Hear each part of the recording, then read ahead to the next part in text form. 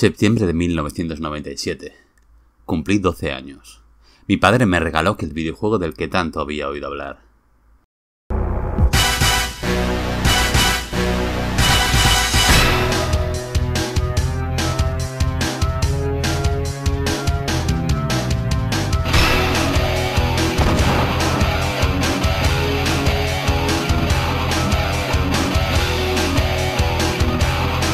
GoldenEye para Nintendo 64 fue una revelación para una generación entera de jugadores. El género de disparos en primera persona había sido hasta entonces algo prácticamente exclusivo de PC y generalmente demasiado violento y adulto para que mis padres me permitieran jugarlo. Pero ah, James Bond ya era otra cosa, a fin de cuentas conocía las películas, me habían puesto algunas de Roger Moore para entretenerme de niño. ¿Qué es lo peor que podía pasar? Bueno, tampoco estaban atentos a la pantalla cuando alguien moría agónicamente de un disparo en los huevos. GoldenEye era una maravilla, un juego diseñado inteligentemente que además sabía adaptar con relativa fidelidad los eventos de la película. Dos años después de su estreno en cines, la película GoldenEye recibió un nuevo soplo de vida en forma de venta de vídeos VHS. La vi una y otra vez. Cuando le comenté esto a un profesor de tenis que tenía, me dijo con una sonrisa que me iba a descubrir la filmografía entera de 007. La semana siguiente me trajo una cinta virgen donde había grabado una emisión televisiva de Goldfinger. Y así, cada semana, una nueva aventura.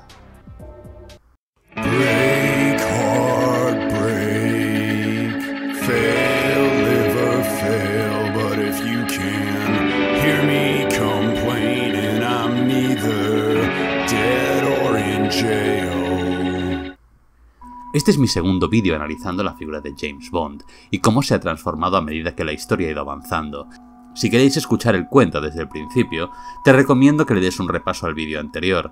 Si solo te interesa conocer al Bond moderno, pues tú te lo pierdes. Dejamos la historia después de que Timothy Dalton perdiera su licencia para matar y la Guerra Fría terminara, dando pie a los relativamente tranquilos años 90, en que el mundo occidental se sentía cómodo y seguro, y la amenaza del terrorismo islámico todavía no se había manifestado en toda su fiereza. No era, realmente una buena época para el género de espías, pero había un director con una clara visión para devolver a 007 a la gran pantalla. Martin Campbell, que entre otras cosas había dirigido la exitosa Máscara de Zorro y se encargaría en un futuro de... Ah, bueno, no, no, estamos hablando de Jean-Luc Godard, pero joder, sabe hacer una buena película de Bond.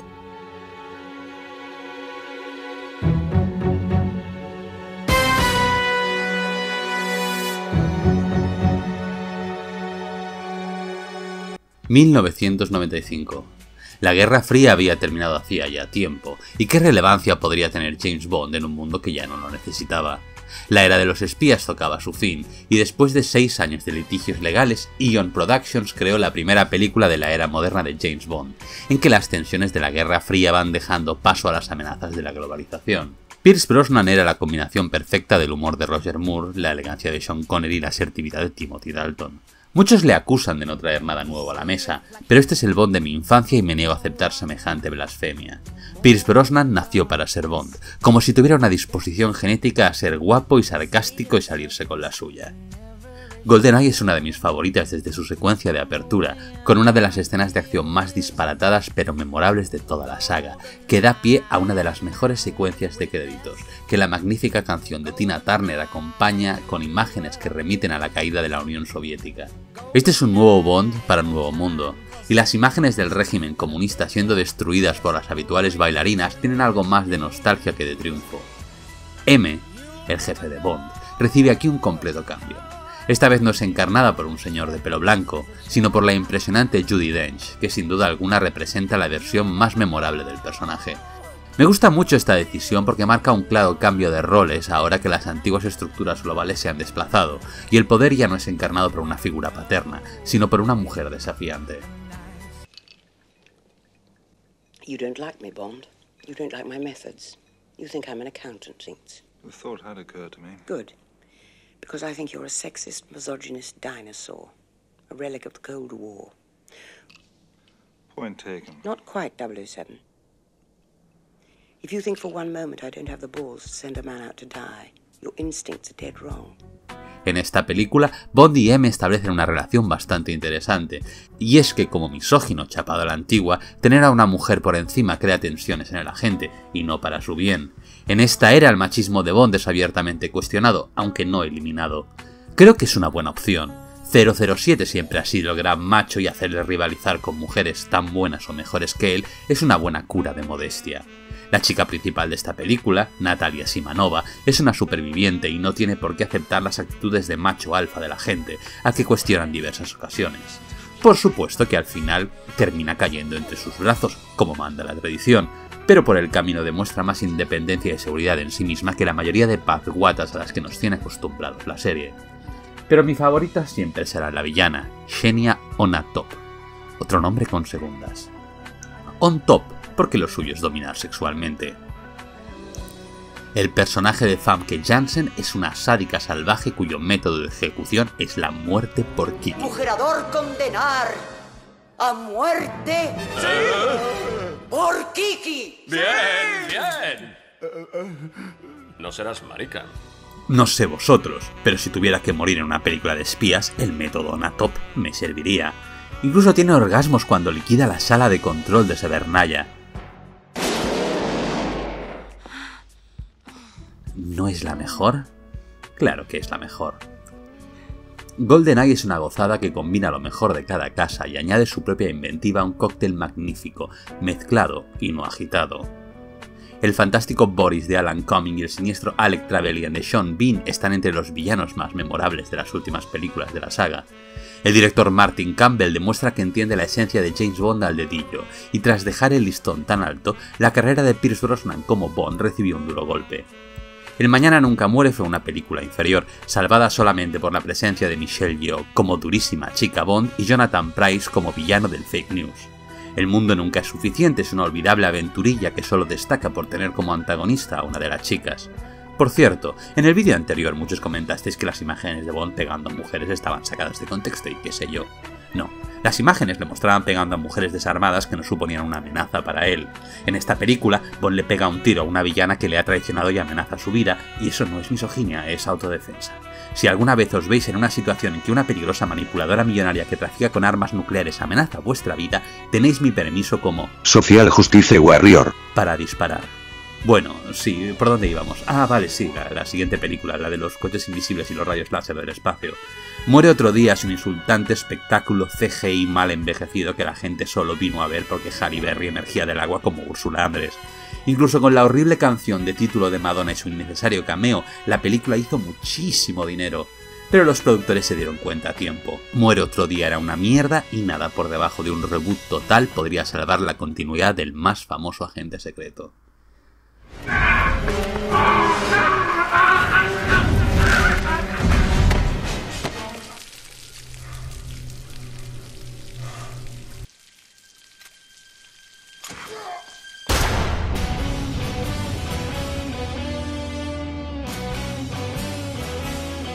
Tras el patético adiós de Pierce Brosnan era necesaria una nueva era, y de la misma forma que la absurdez de Moore fue paliada por la seriedad de Dalton, Muere otro día fue la última estupidez antes de reiniciar la saga.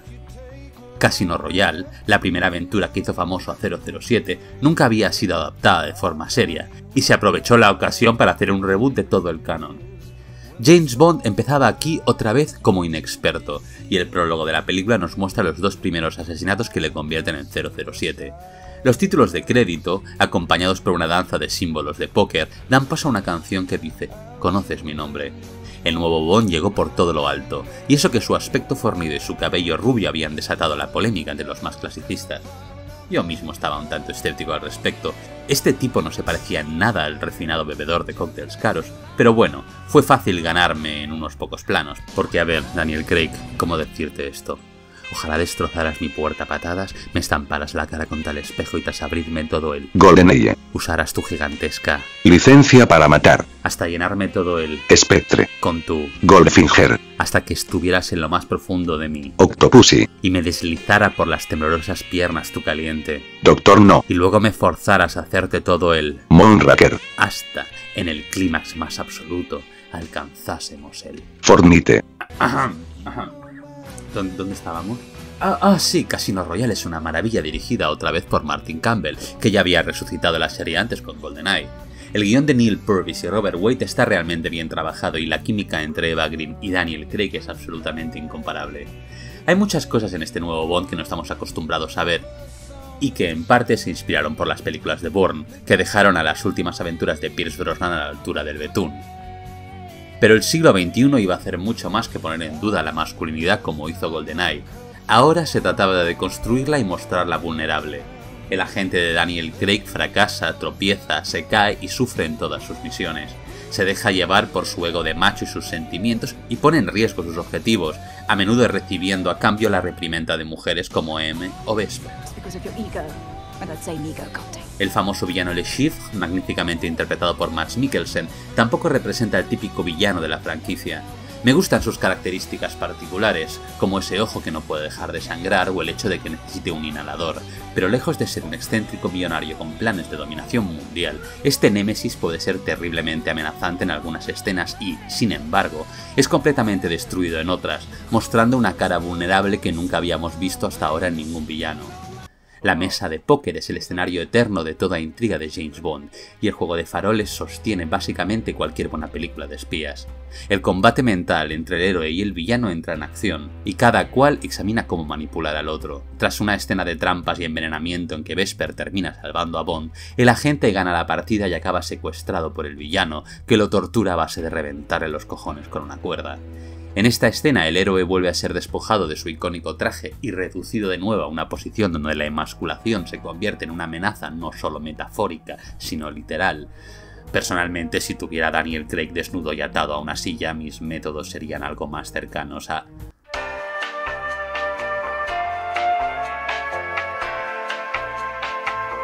Pero por fortuna, el humor oscuro de Daniel Craig consigue girar la escena a su favor, pues incluso con los huevos morados nuestro héroe no pierde el sentido del humor.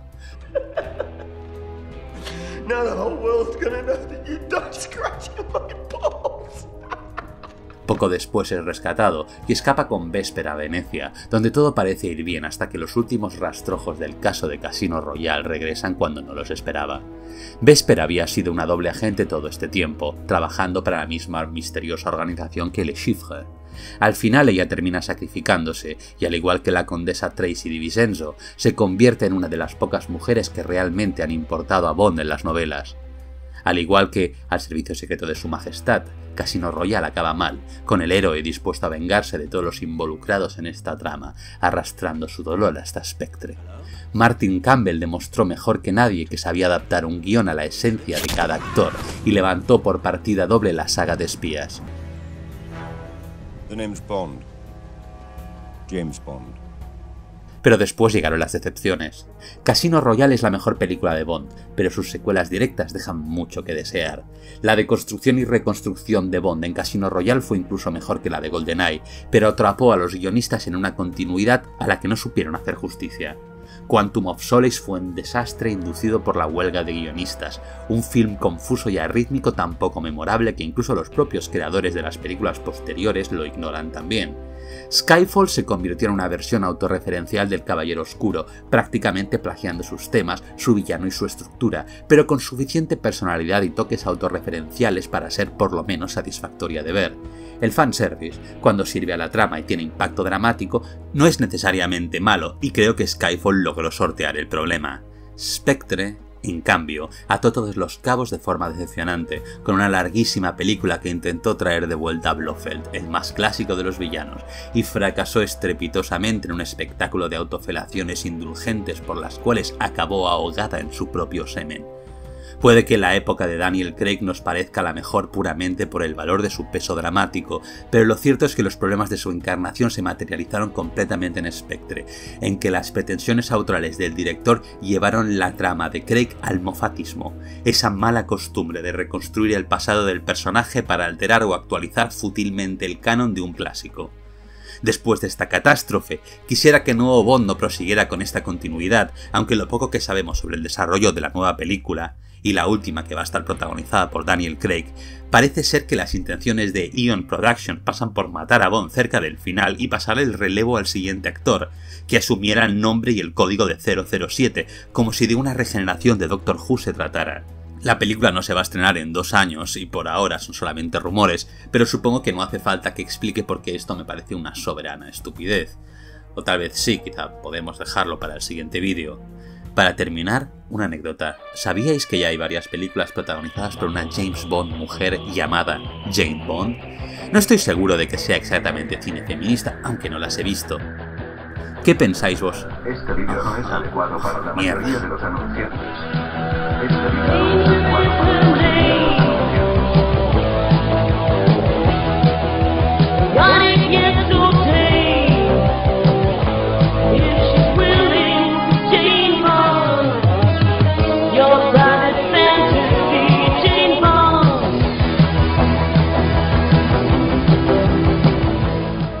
suggest you leave the heavy thinking to me, Rojos.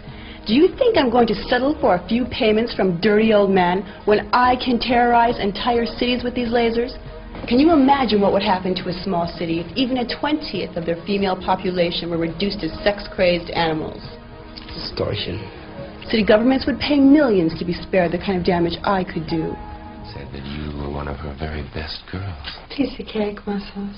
I love to fuck. I'm glad to hear that. Because it will be very important that you lead certain women into acts of public lewdness and debauchery. Debauchery just happens to be my middle name. When do we start? We start right now. Oh, yeah. Mm. You won't be needing any toys. Not when you got a real gun like this. Mm.